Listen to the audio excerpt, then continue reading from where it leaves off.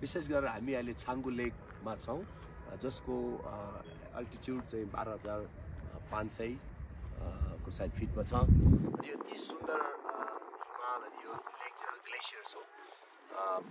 र जति पनि हाम्रो कतिजना नेपाली दाजुभाइहरू हुन्छ है वर्ल्ड वाइड ग्लोबल रूपमा नेपालमा इन्डियामा युएसमा युकेमा यो एउटा सुन्दर ठाउँ जहाँ हामी आएर प्रार्थना गर्ने भिजिट गर्ने एकचोटि तपाईँ सिक्किम आउनुभयो भने यो ठाउँलाई तपाईँले मिस नगर्नु होला किनभने यो चाहिँ एउटा परमेश्वरले सृष्टि गर्नुभएका थोकहरू मध्येमा सच ब्युटिफुल ब्युटिफुल ब्युटिफुल छ। अनि यो छाङ्गु यहाँ तपाईँले देख्नुहुन्छ अहिले अब यहाँ हिउँहरू छैन तर जब विन्टरको समयमा अक्टोबर न डिसेम्बरदेखि चाहिँ यहाँ हिउँ पर्छ।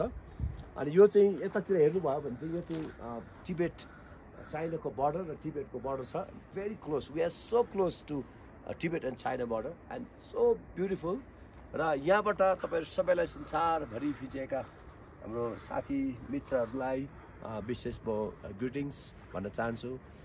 यहाँहरूलाई एकदमै अ, तपाईँहरूलाई सम्झेका छौँ ब्लेसिङ जान्छ मिनिस्ट्रीले र यहाँबाट हामी धन्यवाद दिन्छौँ। र यो एउटा सानो छङ्गु लेक जो सिक्किमको गान्तोकको धेरै माथि बाह्र बाह्र हजार करिब साढे बाह्र हजार फिटमा छ र यहाँ त्यस्तै है धेरै मानिसहरू यहाँ घुम्न आउँछ तर भेरी ब्युटिफुल प्लेस छ।